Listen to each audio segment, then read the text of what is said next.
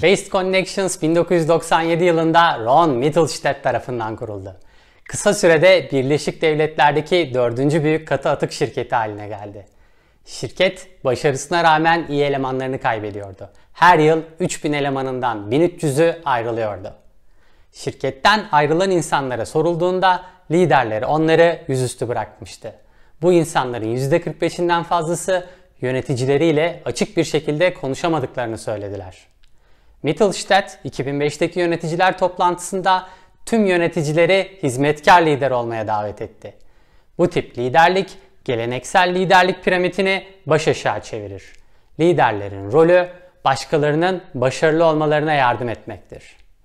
Çalışanların kurumları değil, yöneticileri terk ettiğini göz önüne alarak 2007 yılında tüm çalışanlara bir anket dağıtıldı ve yöneticilerini hizmetkar liderlik özellikleri konusunda puanlamaları istendi. Bir sonraki sene her yöneticinin priminin %25'e kadar olan kısmını anket sonuçları belirledi.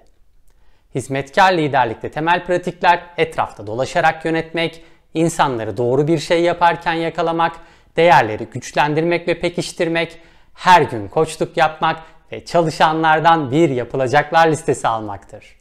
2010'da personel değişim oranı %40'tan %17'ye düştü.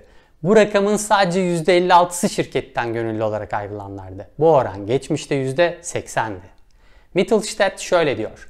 İnsanlar bizim daha iyi bir şirkete ve harika bir kültüre sahip olduğumuzu duyuyor ve bu daha iyi elemanları bize çekiyor.